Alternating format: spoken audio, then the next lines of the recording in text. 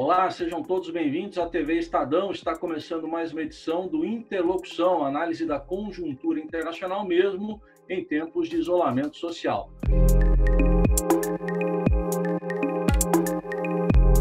Nossos temas de hoje são as eleições nos Estados Unidos, como é que está se desenhando esse quadro com adversários definidos. Vamos falar também aqui no Interlocução de hoje sobre a situação envolvendo Irã e Estados Unidos e o conflito envolvendo os preços do petróleo e ainda a saída da Argentina das negociações comerciais do Mercosul, alegando motivos da pandemia. São temas que a gente trata com os convidados que eu apresento a partir de agora. Um deles, nosso parceiro nessa iniciativa do Estadão e do Instituto de Relações Internacionais e Comércio Exterior, o diretor do Instituto, o embaixador Rubens Barbosa. Obrigado pela presença. E também como nosso convidado, o economista e coordenador do curso de Ciências Econômicas da FAAP, Paulo Dutra Constantin. Professor, também muito obrigado pela presença. Muito obrigado. A gente começa então falando sobre as eleições nos Estados Unidos Embaixador, temos aí um quadro já definido do lado democrata, embora as prévias não estejam ocorrendo por causa do coronavírus. É, a situação dos candidatos está praticamente definida. Né? Temos do lado republicano o atual presidente, Trump, e o Joe Biden pelo lado democrata. Ah, nas últimas semanas ah, ocorreram alguns fatos novos. A a força da candidatura do Trump continua, mas de alguma maneira afetada pelos desenvolvimentos recentes. Né? Primeiro, a própria eleição do Biden e o apoio conservador do Partido Democrata, o pessoal mais avançado, mais conservador ainda, em torno dele. Ele está conseguindo obter apoios importantes para ter realmente uma candidatura forte dentro do partido. Isso é uma primeira coisa. Inclusive, ele já declarou que vai escolher uma mulher para ser a vice eh, candidata a vice-presidente. O segundo fator novo é a pandemia, que está desgastando muito o, o Trump. As críticas e como ele começou a tratar esse assunto estão aumentando e ele está tentando, através de entrevistas diárias e tal, em que ele exalta as coisas que ele fez e tal, mas não está convencendo muito. Um terceiro fator é a emergência do governador de Nova York, que está come começando a aparecer pela maneira como ele conduziu a, a, crise da pandemia lá em Nova York e pode ter algum, algum fator importante de influência na uh, campanha. Para vocês verem como o Trump uh, está fixado na eleição, não só o que ele está falando em relação à pandemia, mas medidas que ele está tomando. Nós vamos falar da questão do, do Irã, da questão da Venezuela também, a, a movimentação que está ocorrendo por lá, e a decisão de suspender a imigração por 60 dias o, o green card. Para todas essas medidas estão relacionadas com o, o, o, seu eleitorado. Então, há um mundo novo que começa a aparecer agora na eleição americana, tornando cada vez mais incerta essa eleição. Bom, professor Dutra, o aspecto econômico, até que ponto ele deve pesar e tem uma diferença pra, na economia antes e depois da pandemia? A gente está vendo o crescimento do desemprego, por exemplo, nos Estados Unidos. Isso prejudica quem está no poder? Sim, sim, sim. Hoje, bom, primeiro concordo absolutamente com praticamente tudo o que o embaixador falou, né, a respeito ah, da parte política do, das eleições nos Estados Unidos, principalmente com relação ao Trump. Não tem absolutamente nada a discordar, nada. E com relação à economia, hoje nos Estados Unidos uh, já tem aproximadamente 26 milhões de desempregados. Tá? E esses desempregados já eram para ocorrer a um determinado tempo nos Estados Unidos. Porque, se nós nos lembrarmos, quando o Trump começou a, a sua política econômica, ele fez uma política de isolacionismo. Né? Então, American First, e que ele está até hoje com isso. Né? E agora, de, de forma até mais intensa, por conta do seu eleitorado. Só que essas medidas que foram tomadas lá atrás fizeram com que uma parte dos desempregados nos Estados Unidos voltassem a ser empregados, começassem a trabalhar e tivessem renda. No entanto, é uma mão de obra muito pouco produtiva e fez com que nos Estados Unidos ocorresse uma pressão sobre os preços. Só não ocorreu mais uma pressão sobre os preços porque, ao contrário do que o próprio Trump falava, houve um incremento comercial, principalmente com a China. Os Estados Unidos, durante o período Trump, passou a ter um déficit comercial muito maior. Então, esses produtos que os Estados Unidos importavam, mais baratos do que os produzidos dentro dos Estados Unidos, não pressionaram, não deixaram que os preços fossem pressionados para cima. E manteve ainda né, todos esses empregados que agora perderam seus empregos. E a gente está falando de 26 milhões de desempregados novos, né, praticamente, porque vários ainda não conseguiram acessar para pedir o seguro-desemprego. Então, esses desempregados, se o Trump não conseguir voltar rapidamente com uma política macroeconômica de aumento de gastos, que realmente eles não têm esse problema de aumento de gastos, não tem problema de restrição orçamentária, né, como nós temos, porque eles ah, imprimem a moeda do mundo e, além disso, tá, nós financiamos esse déficit deles. Então, não tem problema nenhum com esse aumento de gastos. Então, ele deve, logo, logo, começar com uma política fiscal ainda mais expansionista, tá? fornecendo uma quantidade muito maior de recursos para a economia e, ao mesmo tempo, aí ele começa a, novamente, a fechar ainda mais a economia norte-americana para falar, olha, estou protegendo um cidadão norte-americano em primeiro lugar. Então, essa, acredito que vai ser uma bandeira realmente do Trump para as próximas eleições, porque ele tem a possibilidade de perder uma grande quantidade de eleitores se ele não fizer isso. Se os empregos não forem retomados de forma muito rápida no pós-pandemia. Então, isso ele está vendo e o Joe Biden também está, tanto que o Joe Biden já alertou para a possibilidade que o Trump está aventando de postergar a realização das eleições. Aliás, eu vou pedir para o embaixador complementar, mas pegando esse ponto também, embaixador, a gente falou até agora o que o Trump é, está fazendo ou pode fazer e o que, que o opositor dele, Joe Biden, pode fazer em relação a esse aspecto específico da economia. Eu acho que ele vai explorar ah, as críticas quanto às primeiras políticas do Trump em relação à pandemia e vai apresentar programas sociais uh, para ganhar ou manter o apoio do, dos grupos que estão junto com o Bernie Sanders, com a Elizabeth Warren. Então, ele vai voltar, eu acho, de alguma maneira, a buscar aquele programa de uh, saúde do Obama, que aumenta a, a, a possibilidade de, de, das pessoas se servirem de uma, de uma uh, medicina pública, que não existe nos Estados Unidos, é muito pequena. Então, eu acho que o Joe Biden vai entrar mais nessa parte social, por causa do desemprego muito grande, porque nós, nós não podemos esquecer que a eleição é agora em novembro. Então, a economia americana não vai estar bombando como estava. Mas a economia americana estava crescendo, a gente não pode deixar de lembrar isso. E o, e o Trump estava montado em cima de uma riqueza enorme, de uma expansão da economia, o desemprego mais baixo do, da história.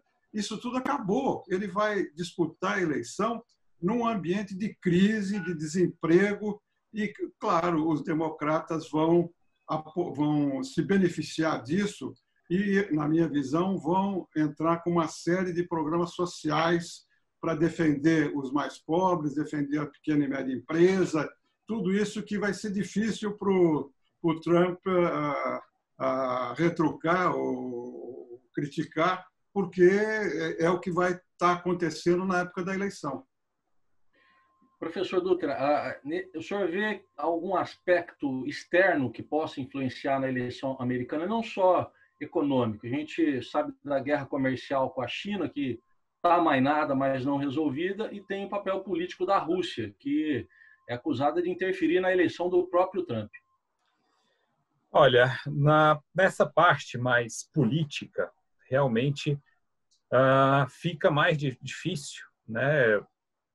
eu afirmar qualquer coisa, porque o que a gente viu na, na eleição em que ele ganhou, né, na eleição passada, foi, a princípio, uma participação da Rússia mesmo para fazer um contraponto e ter essa possibilidade de uh, criar um inimigo, porque para os dois é benéfico um inimigo externo, tanto para a Rússia quanto para os Estados Unidos. Os Estados Unidos cria inimigos aí à vontade e tem várias frentes de batalha.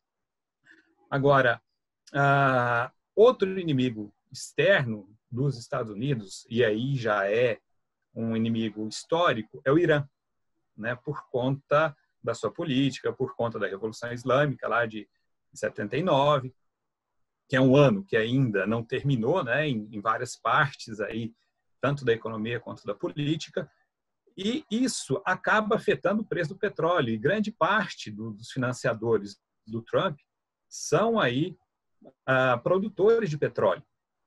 Então, isso pode realmente impactar na eleição do, do Trump. Eu vejo, né, não a questão armamentista, mas a questão econômica mesmo relacionada ao petróleo, com uma redução muito grande nos ganhos desses produtores de petróleo no mundo todo e que apoiam o Trump e é uma contraposição aí da própria Rússia, né, que nesse momento ela está atuando para aumentar a produção ou não reduzir como deveria ser reduzida a produção de petróleo nesse momento e que desse uma sustentação no preço para que os produtores de petróleo tivessem ganhos. Então, a gente hoje é, é tão louco o que a gente está vivendo que é uma crise do petróleo às avessas das duas crises que nós tivemos na década de 70 né, em 73 com a guerra do Yom Kippur, né, com os preços do petróleo disparando, e depois, em 79 também, com a Revolução Islâmica, com o preço do petróleo disparando pela segunda vez.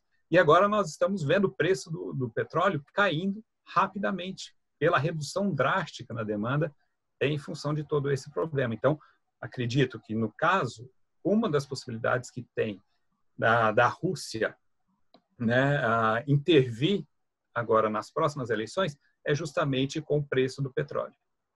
Bom, vamos continuar acompanhando todos os desdobramentos da eleição americana em meio à pandemia do coronavírus e será tema aí dos nossos próximos programas. Mas o professor Dutra nos adiantou um pouco, nos deu o gancho para entrar no segundo tema.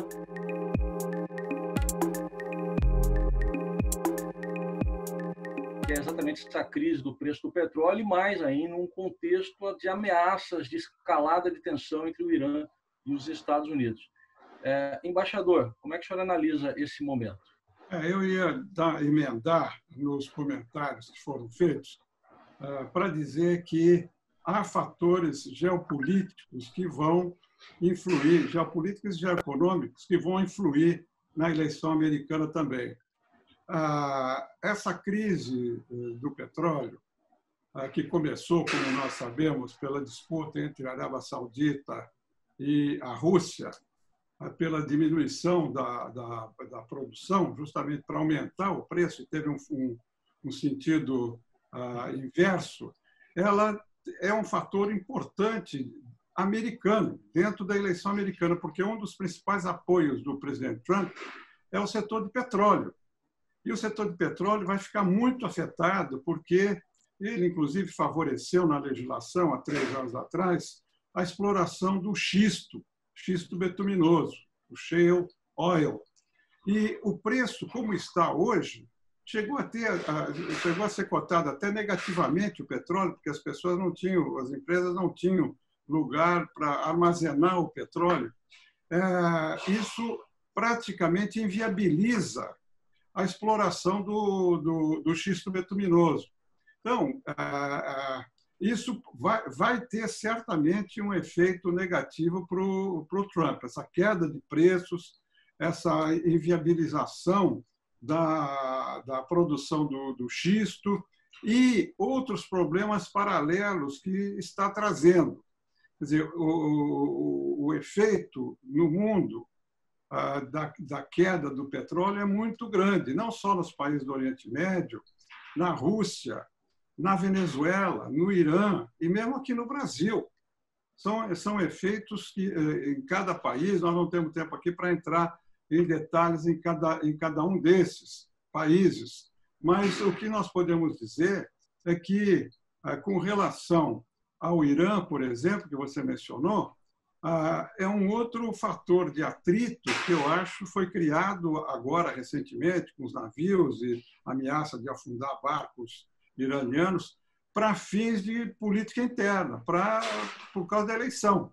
Não há uma, uma crise com o Irã. O Irã sofre já sanções de todo tipo, ah, impostos pelos Estados Unidos, por tudo que está acontecendo na Síria, por enfim, por tudo que nós sabemos aí. Então, a, a, essa ameaça americana só teria um impacto maior se fosse uma guerra declarada, mas não vai haver guerra, porque isso é política interna americana. Mas uh, teve um, essa, essa, essas, essas sanções americanas em relação ao Irã e em relação à Venezuela tiveram um outro fator, um outro, uma outra consequência, a aproximação entre o Irã e a Venezuela. É uma, a, a China já se aproximou da Venezuela, a Rússia já se aproximou da Venezuela, e agora o Irã está ajudando a Venezuela, porque a Venezuela talvez, com o preço do petróleo como está, seja um dos países mais afetados, porque a crise do petróleo se acumula à crise da, da, da, do, do vírus, da coronavírus.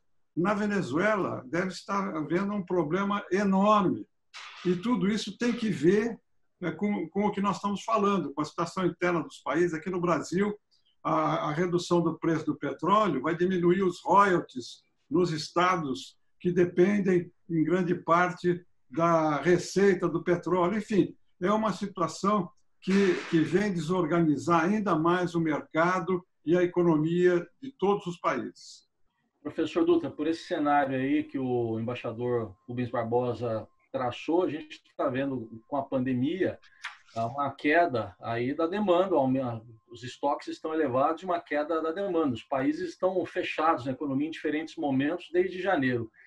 O que, que o senhor vê aí para o futuro mais próximo, aí, talvez para o segundo semestre, em relação ao mercado de petróleo? Bom, o que a gente teve e que a gente está vivendo hoje, né, a respeito do mercado de petróleo, realmente é uma queda de preços, né? A semana passada nós tivemos aí ah, o barril de petróleo para entrega futura, com os contratos sendo realizados, chegaram a preços negativos, ou seja, eu tenho, só que não tem, eu tenho o contrato e vou receber esse contrato em espécie, né? Então vou receber em petróleo. Só que eu não tenho aí, no caso, o local para depositar esses petróleos, não tem capacidade de armazenamento. Se eu não tenho capacidade de armazenamento, o que, que eu vou fazer? Eu não quero ficar com, com esses barris de petróleo. Então, o preço começou a cair até chegar ao ponto em que eu tive que pagar para que as pessoas que tivessem, as empresas que tivessem capacidade de armazenar esse petróleo, ficassem com o petróleo, que era mais barato eu me livrar do petróleo do que realmente né, a ficar com esses barris de petróleo. Agora, quando o embaixador fala a respeito né, da, da Venezuela, do Irã, da China e da Rússia, o que talvez a gente tenha num, tabuleiro de geopolítica, né, a China, um, uma grande compradora de, de, petróleo da Venezuela, que continua comprando, a Rússia, que chegou a montar bases a, princípio né, na Venezuela, e agora o Irã também, que é um inimigo dos Estados Unidos. Isso tudo também tem uma, na minha percepção, uma ligação até com a Guerra Fria, por conta da Ucrânia, por conta da Crimeia, por conta de base militar russa que existe na Crimeia, né, e com a possibilidade da Ucrânia se tornar né, um, um, país ligado à OTAN, então fica com essa base dentro propriamente do território russo.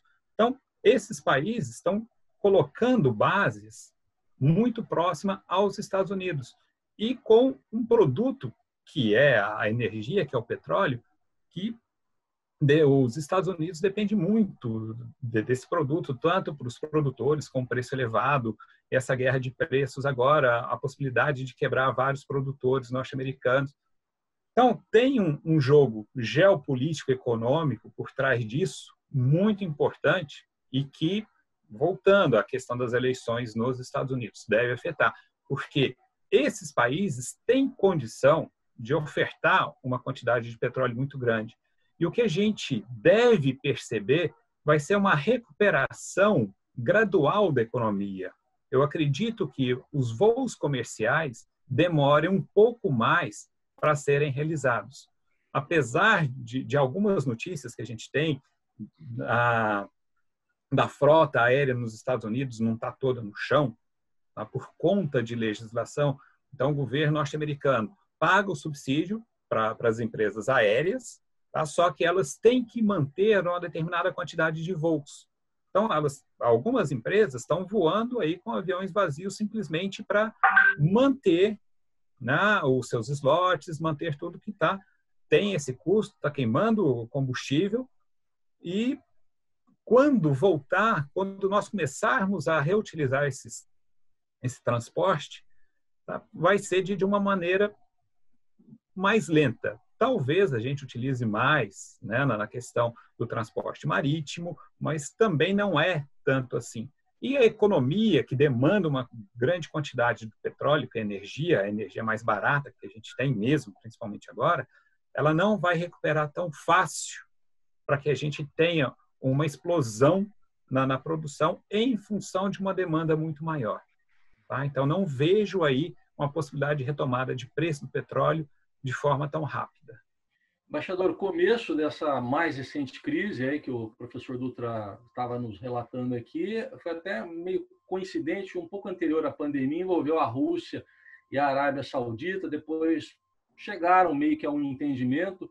Isso está solucionado na sua visão ou corremos algum risco ainda? Não, eles estão negociando, né? e negociaram um aumento um pouco da, da produção, mas, ah, como foi mencionado, o mercado não reagiu por causa da desaceleração global. Nós estamos numa recessão global. Então, ah, os cortes da, da produção não foram, não foram suficientes. E eu acho que ah, os Estados Unidos no fundo, no fundo, esse acordo entre a Arábia Saudita e Moscou era um pouco para atingir também os Estados Unidos, na minha visão. Era indiretamente afetaria os Estados Unidos, mas e por causa da produção do shale, né? Porque ah, eles estavam com medo que essa superprodução de petróleo deprimisse o preço internacional. E foi o que aconteceu, porque também a, a pandemia prejudicou a atividade econômica. Então, agora eu acho que na saída da, da pandemia, isso tudo vai ter que ser renegociado, porque está todo mundo sendo prejudicado, né? por diferentes razões, do lado da oferta, do lado da demanda, está todo mundo sendo prejudicado. Eu, eu acho que o, o, petróleo não vai voltar mais aos níveis que estavam, o preço não vai voltar mais aos níveis que estavam por tudo isso que nós estamos dizendo, a desaceleração econômica, mudança de hábitos, as, a, a, o transporte aéreo vai cair, vai, vai hoje está zero praticamente, mas vai cair muito no futuro. Então, nós vamos ter um novo cenário aí, e, e a, a ironia é que isso coincidiu com o coronavírus, que agravou o problema. Já tinha um problema antes do coronavírus e a, desaceleração econômica por causa das medidas de quarentena e de lockdown prejudicaram ainda mais o setor petrolífero. Muito bem, continuamos também acompanhando de olho vivo aí nesse segmento aí do mercado de petróleo. Nosso próximo tema tem a ver com a pandemia também, ou pelo menos uma alegação que envolve a pandemia. A Argentina deixa as negociações comerciais do Mercosul, alegando que está com as suas atenções voltadas para a pandemia do novo coronavírus. Eu vou começar com o professor Dutra. É, no primeiro momento, como é que o senhor avalia essa decisão? Pode comprometer o futuro do Mercosul ou, por outro lado, abre caminho para acordos bilaterais envolvendo os países com os parceiros que eles queiram negociar? Olha, ah, também na minha percepção, né, quando a gente começou com o Mercosul, lá ainda, né, lá atrás, na, sua gênese, a gente já começou de uma forma bastante avançada. Vamos, vamos trabalhar num mercado comum. Tá? E isso a gente já queima duas etapas iniciais, uma área de livre comércio e uma união aduaneira. Então, fomos direto para uma integração muito maior, sem ter negociado as anteriores. Então, a, a saída da, da Argentina, na minha percepção, também é uma saída política. Também é uma questão de eu proteger aquele mercado ou aqueles eleitores que me elegeram e que formam um, um mercado de trabalho com a mão de obra menos capacitada e que ela vai ficar desempregada, já ia ficar desempregada, e com a retomada do, do crescimento da Argentina, ela não voltaria a ser empregada. Tá? Ela estaria fora do, do emprego. Então, é uma forma que o governo argentino arrumou, política, de falar: olha, eu não tenho mais condições de permanecer no Mercosul, porque vocês estão negociando uma tarifa externa comum de rebaixamento e eu vou proteger a minha indústria que já está tão debilitada aí ao longo dos anos, né? E simplesmente continuar protegendo com tarifas elevadas. Eles não estão trabalhando o que deveria trabalhar, como nós deveríamos trabalhar aqui no Brasil, como a China também começou a trabalhar, por isso que eu falo que a década de 70 ainda não terminou, né? quando a gente fala da abertura da China lá em 78, e que está vindo, que chegou nesse momento agora como um grande player mundial, mas lá atrás, o que, a China fez? Fez uma reforma tributária tá? na, própria China, fez uma reforma administrativa, de, de forma geral, no, no Partido Comunista Chinês, tá? e um investimento de Estado em educação, tá? e que vem ao longo do tempo trazendo esses resultados de ganho de tecnologia. O tempo todo vem fazendo isso, eles sabem muito bem o que eles querem. E nós aqui não fazemos isso. A Argentina não faz isso, nós não fazemos isso. As nossas políticas são absolutamente de curto prazo.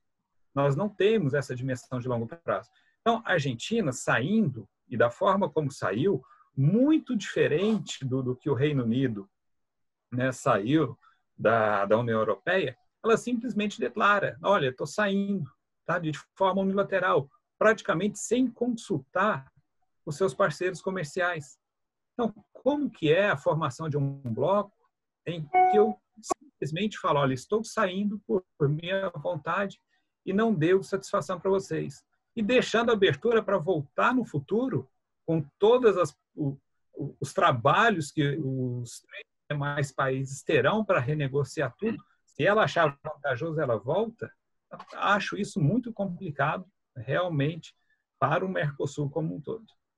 Embaixador, acho que a gente pode dizer que esse tipo de negociação em bloco, né, com terceiros, é um dos pilares do, do Mercosul. A Argentina está dizendo que não vai se opor que os outros países continuem as negociações. O senhor espera o quê a partir de agora? Olha, vamos, vamos colocar isso numa perspectiva uh, atual, né, mais correta. Quer dizer, a Argentina não está saindo do Mercosul. A decisão que eles tomaram foi de não continuar as negociações de acordos comerciais de livre comércio com o Canadá, com a Coreia do Sul, com Singapura, com o Líbano, com a Índia. Eles só vão continuar, porque já está fechada a negociação, com a União Europeia e com a área de livre comércio da Europa, com a EFTA. Isso é que aconteceu. Eles não estão, eles não pediram para sair, não declararam lateralmente. É apenas a decisão de não continuar a negociação de acordos comerciais. E as razões que eles deram foram essas que o professor mencionou: a situação econômica, a dívida externa e a proteção da indústria argentina. Então, isso, claro, cria uma incerteza no âmbito do Mercosul, porque contrasta, por exemplo, com a atitude do Brasil. O Brasil propôs essa flexibilização que foi mencionada, redução da tarifa externa, no começo do ano, mas a gente não propôs aquilo e take it or leave it, né? é assim e pronto. A gente submeteu, isso está sendo analisado pelo, pelo mercado, pelos países do Mercosul. A Argentina, até agora, foi a única que não concordou e possivelmente não vai concordar. Aí, se a Argentina não concordar, porque como ela não saiu do Mercosul, continua em vigor as regras do Mercosul. Então, aí vamos ver o que, que o Brasil vai fazer. Agora, essa retirada unilateral é errada. Ela devia consultar, mas ela, na última reunião de sexta-feira passada, uma reunião virtual, ela informou os parceiros que estava tomando essa decisão. O importante daqui para frente, a decisão está tomada, vai ser aceita pelos outros países. O que fica pendente são algumas, são por, pelo menos dois problemas. Primeiro, é saber se a tarifa externa comum vai ser mantida ou não. Eu acho que ela vai ser mantida, porque para a Argentina, dentro do argumento que eles usaram, de que tem que proteger a indústria, a tarifa externa comum é uma maneira de proteger a indústria argentina, inclusive. Porque se você tirar a tarifa externa comum, com zero de tarifa, a China, a Coreia e tal vão acabar com a indústria argentina, como acabariam com a indústria aqui no Brasil. E a segunda coisa é o acordo automotriz. Como fica o acordo automotriz, que é dois terços do comércio do Brasil e da Argentina, é o acordo automotriz. Esse acordo é feito fora do Mercosul, é um acordo administrado, gerenciado pelas montadoras que estão na Argentina e no Brasil e elas ah, dividem o mercado aqui dentro. Então, como é que fica isso? Nós vamos ter que aguardar ah, os próximos ah, passos dessa, dessa atitude. Do ponto de vista do Brasil, eu acho que foi até positivo, porque agora o Brasil, que tem uma política mais, até aqui pelo menos, né, tinha uma política mais aberta, mais liberal, de negociar acordos de comércio com muitos países, vai dar continuidade a isso sem o obstáculo da Argentina. O Paraguai e o Uruguai vão acompanhar o Brasil. Então, do ponto de vista do Brasil, a coisa ficou mais clara, mais transparente, e eu acho que foi positivo nesse ponto de vista. Foi negativo do ponto de vista da coordenação entre os países do Mercosul que gera incerteza e a gente não sabe uh, quais são os próximos uh, desdobramentos dessa atitude. E um, um, último comentário: é curioso que, tanto na Argentina quanto aqui, essas medidas importantes são tomadas sem consulta do setor privado. Lá na Argentina, o setor privado se levantou contra, está fazendo comício lá contra essa atitude de sair dos acordos, porque eles teriam interesse também em negociar com esses países. A gente já está na reta final, vou pedir as considerações finais aos nossos convidados, propondo aqui uma reflexão breve aí sobre a economia aí depois da pandemia, é, começando pelo senhor, professor. Bom, o... a gente vai chegar em um novo mundo, né? As relações de trabalho com essa tecnologia, essa nova tecnologia que nós estamos utilizando até para fazer né, é, é, essa entrevista, está tá possibilitando novos negócios. Ah, o que a gente tem visto, por exemplo, na China, é que a demanda, né, a volta dos consumidores nos locais de consumo diminuíram sensivelmente. Então, ainda estão realizando muitas compras pela internet. Tá? Então, é um mundo que as relações de, de compra, venda, se realmente eu preciso comprar, né, devem mudar bastante. E muito do, do que a gente tem de serviços hoje, o que a gente tem de indústria hoje, daqui dois, três anos vão deixar de existir. Então, tem muita gente até que já está falando que essa pandemia do, do Covid-19 é o início realmente do século 21. Que até então nós estávamos, passamos esses 20 anos ainda no século 20, com aquele processo industrial do século 20, e que de agora para frente nós aceleramos todo esse processo e que nós devemos entrar no século 21. Embaixador, nosso segundo programa já em isolamento social, como é que está o seu termômetro de otimismo aí para a economia? Olha, eu acho que em termos de economia global, nós vamos ter uma situação muito complicada. Pelo menos uma recessão grande, talvez demorada, se não formos por uma depressão econômica global. Ah, isso vai causar muitos problemas. Eu não acredito que haja uma grande mudança na globalização. A globalização vai continuar com ajustes aqui e ali e abre uma grande oportunidade, eu acho, para o Brasil.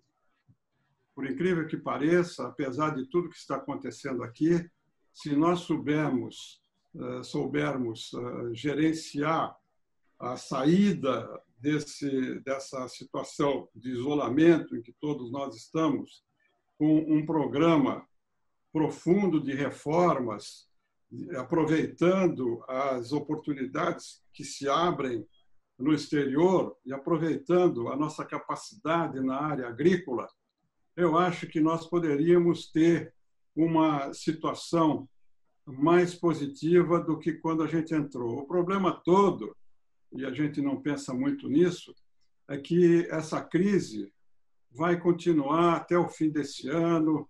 Qualquer reforma, qualquer modificação vai ocorrer em 2021 que é véspera da eleição. Em 22 temos eleição e aqui no Brasil a gente sabe que quando tem eleição muito pouca coisa ocorre. Mas dessa vez é muito diferente e nós vamos ter que enfrentar várias coisas ao mesmo tempo se a gente quiser sair melhor do que entrou nessa crise. Tudo bem. Assim nós chegamos ao final de mais uma edição do Interlocução, programa que analisa a conjuntura internacional, parceria do Estadão com o Instituto de Relações Internacionais e Comércio Exterior, que tem como diretor-presidente o nosso parceiro embaixador Rubens Barbosa, que eu agradeço. Obrigado pela companhia mais uma vez. Agradecimentos também ao professor Paulo Dutra Constantin, que é coordenador do curso de Ciências Econômicas da FAAP. Professor, obrigado. Agradeço especial a você que esteve conosco aqui na TV Estadão. A gente volta na próxima edição ainda sem saber se em isolamento social ou nos estúdios da TV Estadão, mas seja como for, estaremos juntos. Saúde para todos e até a próxima. Até a próxima. Obrigado. Um abraço.